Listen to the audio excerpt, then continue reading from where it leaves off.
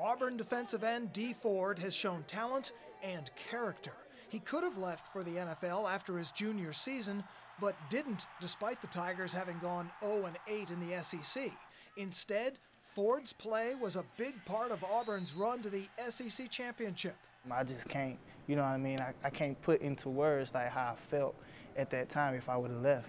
Going 0 8 in the SEC one year and playing for the national championship as SEC champions the next, how mind boggling was it to live through it as it was happening? I'd be lying to you if I said I wasn't surprised. The real turnaround was LSU in that second half when we really just started to execute and we wasn't worried about the score at all. We didn't we didn't look at the scoreboard. We, I mean, we said at halftime, if you're looking at the scoreboard, don't come play with us. LSU had led 21 0 at half, and while Auburn went on to lose 35 21, they did not lose again until the closing seconds of the national championship game.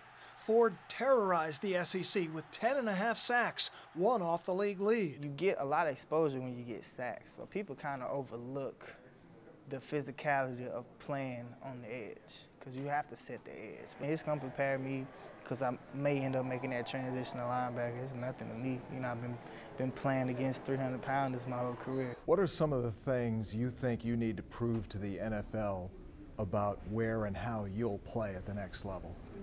Um, my versatility. Um, I can stand up. I did it this year, standing up, you know, my hand down, wherever it may be, playing against a back, a fullback. I think right now, you know, I just really want to show them that I can play either way, standing up, hand down, don't really matter. You know, I make the plays.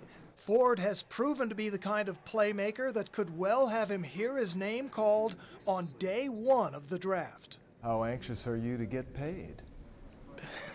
Very anxious, man.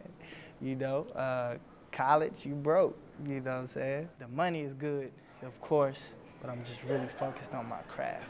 Which is good for Ford, bad for quarterbacks.